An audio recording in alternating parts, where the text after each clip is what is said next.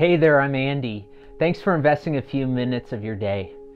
Our aim with each week's episode is to give you worthwhile content to equip you to take the next step toward Jesus, no matter where you're at. I want to start off by having a little fun. Do you ever go for a walk and, and come up with a crazy idea? Or maybe you're like in the shower and you think of something, you're like, man, I wish I could write that down. Well, these things are called shower thoughts, and I want to share a few fun, random shower thoughts that I came across. And, you know, I think for the full effect, though, I think we need to have some running water playing during it. All right, well, here's the first one. Taking a dog named Shark to the beach is a bad idea. Technically, the biggest difference between snowboarding and surfing is just the temperature of the water. When a colleague you hate goes on vacation, it's like a vacation for you, too. You know you're a grown up when you start seeing business trips, like all expenses paid vacations, where you have to work but you get to eat out a lot. And finally, June is like Friday, July is like Saturday, and August is like Sunday. Okay, so we're in, in the start of a new month and a new uh, series called Love Is. And in today's episode, I don't want to get so much at the scripture and the the takeaway as much as the angst behind where we're headed the next several weeks. What do I mean by angst? It's that sense of burning sense of something's not right. It's a conundrum. It's something where you're just trying to wrap your head around the solution to something. That's kind of where I find myself right now. And maybe you do too. You know, because what's going on in our society right now is there's two different illnesses you know, the first one is pretty obvious COVID 19. We're seeing um, every day that there's new things about it that we didn't know the day before, but we're finding out that it's very unpredictable. But yet, the consequences of COVID 19 are definitely widespread. We're all affected by it in one way or another. There's several sectors, sectors of society that are, are being upended because of, of COVID 19.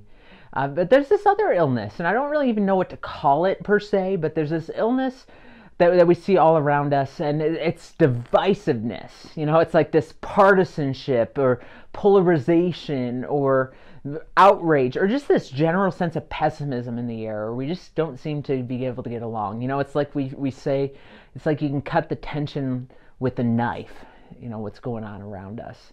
I think of it when i was a teenager we drove a cadillac sedan deville and we weren't wealthy people. It was in 1982, mind you, and this was was the late 90s. But my dad always joked about how this is the biggest car in America, and it was a pretty big car. Um, don't get me wrong, but for three teenage boys in the back seat, it definitely wasn't big enough. You know, and I sat on one side, and my older brother sat always sat in the middle, and he always put his legs in my way and i was always like mom seriously like stop can you get it he's he's putting he's on my side you know? It's kind of where we find ourselves right now isn't it? I, i'm not quite sure what to call this particular illness that's going on in our society but i do like what arthur brooks uses to describe it and i think he kind of gives a good word to describe it. Here's what he says. He says we, we're in a culture of contempt I think that's probably a good way to describe it contempt. And he goes on to say that social scientists define contempt as anger mixed with disgust. And he says these two emotions, anger and disgust, form a toxic combination. It's like mixing ammonia with bleach. Uh, is that kind of where we're at? We're we're seeing this illness of contempt all around us, and just like COVID, there's consequences with this. We're very divided, and and we're finding ourselves lacking civility in so many sectors of society. People are just flat out rude, and and we're finding educated adults are throwing ridiculous tantrums, and, and people are catching it on video, and they're going viral, and it seems like we're we're in in our own echo chamber, chambers. You know, I've talked about this before. We kind of listen to those who agree with the same opinions as us. We watch certain channels that, that agree with, with what we agree with. We look at certain websites. Um, but if you're like me, you're kind of wondering what's actually true. I mean, I had a classmate from high school share on Facebook just a, a couple weeks ago. She shared this. She, she asked this question Where can one find reliable news with validity? She says, I can barely find a scientific article on coronavirus that doesn't state something political. Anybody else feel that way too? You know, it's just kind of this this polarization. It's just kind of this contempt going on. And I think for a lot of us, we're so fed up by it. But a lot of us are kind of hoping that somebody else will come up with the cure. And we think of things like, well, if we just clean house in Washington, then this contempt will stop. Or if that far left group would stop throwing a tantrum all the time, or that far right group stop bullying everybody and judging everybody. I mean, I don't know what it is, but but we're we're looking for the cure in all the wrong places and i want to let us know as as christ followers remind us that that christ has given us the cure to this illness of contempt in our society. What the world needs now more than ever is love. You know i think of the song by jackie deshannon eh, you know several years ago. She's like what the world needs now is love, sweet love. It's the only thing that there's just too little of. Okay, I'm not going to sing the rest of it, but she says what the world needs now is love, sweet love. No, not just for some, but for everyone. You know, I think I need to edit out that singing. That was really bad. um, but I, we could say it this way love is the cure. And I know by me saying that, it's kind of like, it seems all touchy feely. I think of when I was in elementary school, we had a kindergarten graduation. And I actually remember some of the songs we sang at that graduation. Why do I still remember that? That was a long time ago. Um, mainly because I was a super shy kid that never wanted to be in front of people, which is so funny if you think about how God has a sense of humor. And right now I'm in front of a whole bunch of people um, on a regular basis. But I remember a couple of the songs we sang. And the first one was Michael Jackson's "Beat It." Okay, this was the mid '80s, so you gotta you gotta understand this was super popular. And so we would wear these white gloves. I remember thinking, well, what is going on? You know, as a kindergartner, thinking this is so weird. And we do "Beat It, Beat It," and we do this thing with our hands or whatever. I remember that song, but I remember this other song, and it was super popular in 1985. It was written, and it was like we are the world.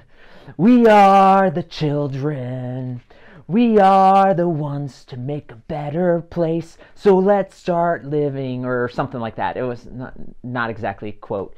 Um, and then I remember this other song that, that we would sing, and it was. I gotta read it. It's like, I'd like to build the world a home and furnish it with love grow apple trees and honeybees and snow white turtle doves. I'd like to teach the world to sing in perfect harmony. I'd like to hold it in my arms and keep it company. I'd like to see the world for once all standing hand in hand you know, I kind of think of like on The Grinch Stole Christmas and all the Whoville people standing around that Christmas tree singing their random song or whatever. And sometimes I think that's what we think of when we when we think of love. And I don't want to be talking about that touchy feely sense of love, but instead I want us to be thinking um, in different terms. And here's what I want us to, to take away the next several weeks. I, I don't want us to think about in, in this big sense of the world around us dealing with all this division and contempt and how do we find the cure for this whole world. But I want us to get smaller and think about our small worlds. There's people in our lives that are super difficult to love. Uh, there's a face that might immediately come to your mind.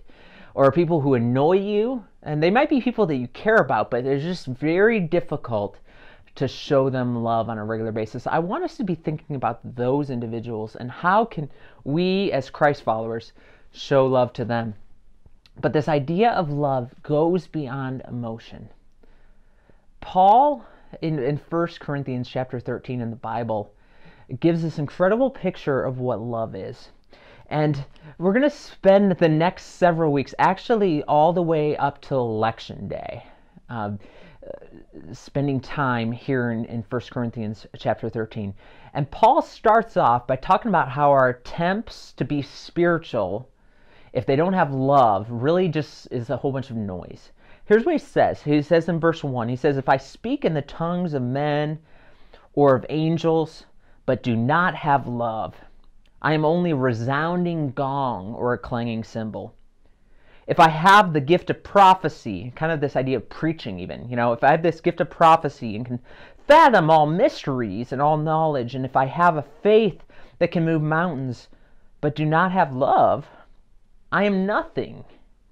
If I give all I possess to the poor and give over my body to hardship that I may boast, but do not have love, I gain nothing. What Paul's telling uh, this, this particular group of people, and I think he's telling us, is it's not going to take super spiritual people doing these super spiritual things for God to change this illness of contempt. Uh, but he, what he's saying, you know, he, he says you can have a great rousing speech by this really great preacher, but if, if it doesn't have love, it's kind of just noise.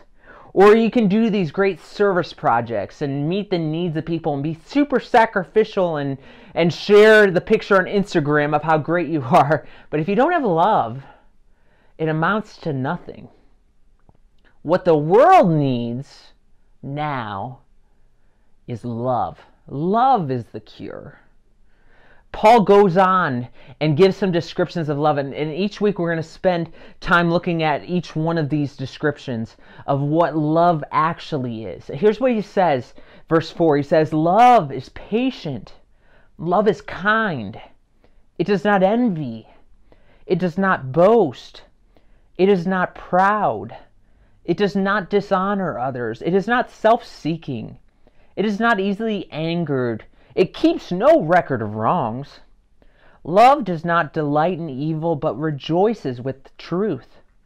It always protects, always trusts, always hopes, always perseveres. What we're going to be discovering is that love is more than an emotion, but love is a choice. And there's this different kind of love that Christ impels us to give. This is a love that's not based on conditions, not based on how nice people are to us and we'll be nice back. But this is a sacrificial, proactive, very active kind of love. This is a verb, not a feeling or a noun. Uh, this is a love that demands our all. This is a kind of love that presses on even when you don't feel like it.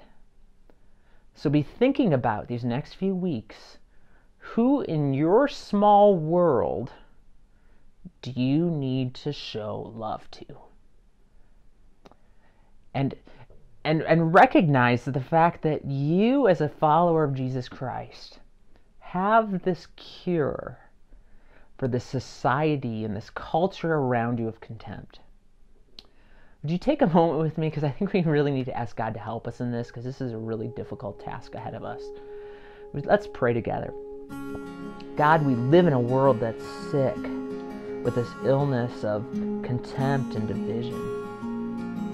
God, help us not to wait for others to change or other things to bring about this cure to, to bring people back together, Lord, but rather start showing us who we need to proactively love. Show us how we, as your followers, can be part of the solution of bringing people together. Jesus, that's what you did. You came to restore and to heal and to show this different kind of love. And so I pray that you would show us to love like you, Jesus, in the next few weeks. It's in your name we pray. Well, I want to give you a heads up. We're going to be diving right into what love is starting next week. And there's going to be some very practical takeaways each week for you to chew on, and also for you to chew on with your pack. And maybe you're wondering, what is a pack? Well, we talked about that last week, and you can actually review uh, the episode on, on YouTube, of July 26th episode. as, as we defined how to find our pack. And so I encourage you to revisit that. There's going to be some opportunities to kind of discuss things with your pack. And I would love to hear from you if there's a way that I can pray for you, if there's a way that I can just encourage you. Simply just drop me an email, andy at fayette.church. And I'd love to hear from you. If this video and other episodes have been meaningful to you, would you take a moment and share it? Uh, you can click the button on Facebook or on YouTube and share it with, with friends or maybe pass it on to a specific friend think would benefit from that. That would mean so much to us. And my desire and my prayer for you this week is that you would take that next step toward proactively loving those in your life. That next step toward togetherness. And the next step